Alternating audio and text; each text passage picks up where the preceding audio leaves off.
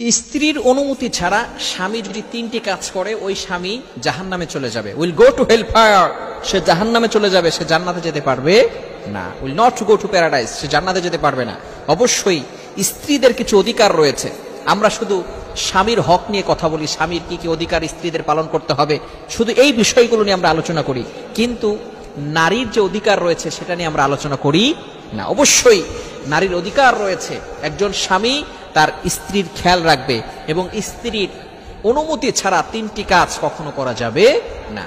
Number one এক number হচ্ছে স্ত্রীর পারমিশন ছাড়া কোনো স্বামী স্ত্রীকে মহরানা না দিয়ে তার শরীরে স্পর্শ করতে পারবে না। ভালো করে বুঝেন। আপনি বিয়ে করেছেন, ঠিক আছে, তবে আপনাকে অবশ্যই মহরণা দিতে হবে। এটা হচ্ছে তার স্ত্রীর হক, স্ত্রীর অধিকার। সূরা নিসার ভিতরে আল্লাহ তাআলা জানিয়ে দিয়েছেন, ওয়া আতুন নিসা আসাদুকাতিহিন্না নিহলা।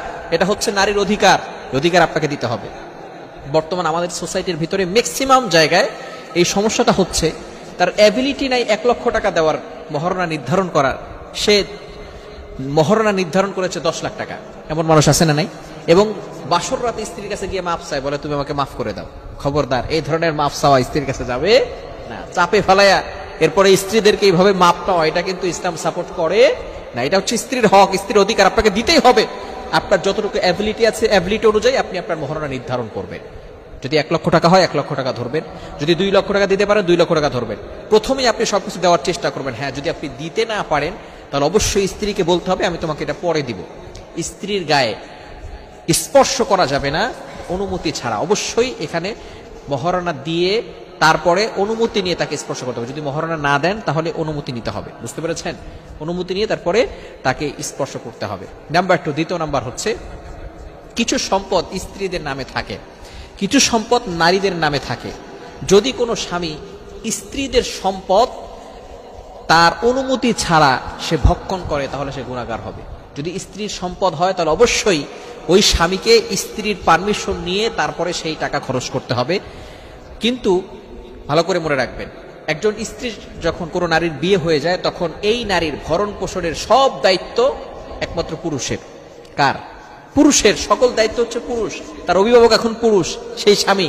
স্বামী তার সব খরচ দিবে, তার ভরণ পোষণের দায়িত্ব সব দিবে। কিন্তু স্ত্রীর কাছে যদি কোনো সম্পদ থাকে, এই সম্পদ স্বামী জোর করে নিতে পারবেন। অবশ্যই তার অনুমতি নিতে হবে।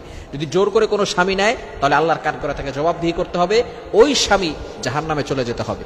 স্বামী যদি কোনো সম্পদ স্ত্রী নিতে চায়, অবশ্যই পারমিশন নিতে হবে। তৃতীয় নাম্বার হচ্ছে মোস্ট ইম্পর্টেন্ট এটা অনেকেই জানে না এবং আমাদের সমাজে এটা বেশি হচ্ছে।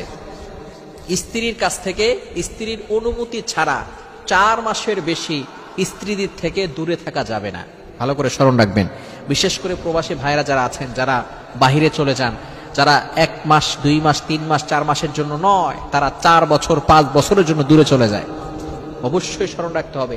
স্ত্রীর কাছ থেকে দূরে থাকতে হলে, চার মাসের বেশি যদি দূরে থাকতে চান, স্ত্রীর কাছ থেকে পারমিশন নিতে হবে। যদি স্ত্রী পারমিশন না দেয়, তাহলে কিন্তু আপনি দূরে যেতে পারবেন না। এটা হলো স্ত্রীর হক। একজন মেয়ে তার স্বামী থেকে চার মাস পর্যন্ত দূরে থাকতে পারে। হজরত অমর রাদি আল্লাহ জামানায় এক নারী তার ঘরে বসে গান গাচ্ছিল। এমন সময় অমর রাদি আল্লাহ সেখানে গেছেন। যাওয়ার পরে সেই নারী যখন গান গাচ্ছিল, গান গাওয়ার পরে কেন গান গাচ্ছিল তার স্বামী নেই। বিশাল বড় ঘটনা আমি সংক্ষিপ্ত আকারে বলছি। ফাইনালি যখন স্বামী না এই জন্য স্বামীর কষ্টে গান গাচ্ছিল। এবার বলছে যে, ওমর এই জন্য দায়ী। কেন? ওমর আমার স্বামীকে যুদ্ধে পাঠিয়ে দিছে। এক বছর ধরে তার কোনো খোঁজ খবর নাই। এবার ওমর রাদিল্লাহ নিজে তার বাসায় গিয়ে হাফসা রাদিয়াল্লাহ তালানহা ওমর রাদিল্লাহ আনহুর মেয়ে হাফসা রাদিল্লাহ আনহা, তিনিও নবীজি সাল্লাহ সাল্লামের স্ত্রী ছিলেন।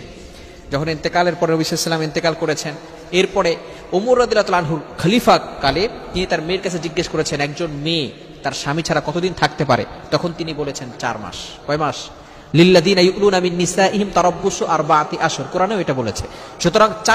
বেশি আপনার স্ত্রীদের থেকে যদি দূরে থাকতে চান, অবশ্যই স্ত্রীর পারমিশন নিতে হবে। যদি আপনি পারমিশন না নিয়ে দূরে থাকেন, তাহলে ওই স্ত্রী যে কষ্ট সহ্য করতেছে, এজন্য আপনাকে জাহান্নামে জাহান্নামে যেতে হবে। আল্লাহ আমাদের সকলকে এই বিষয়গুলো বুঝার তৌফিক দান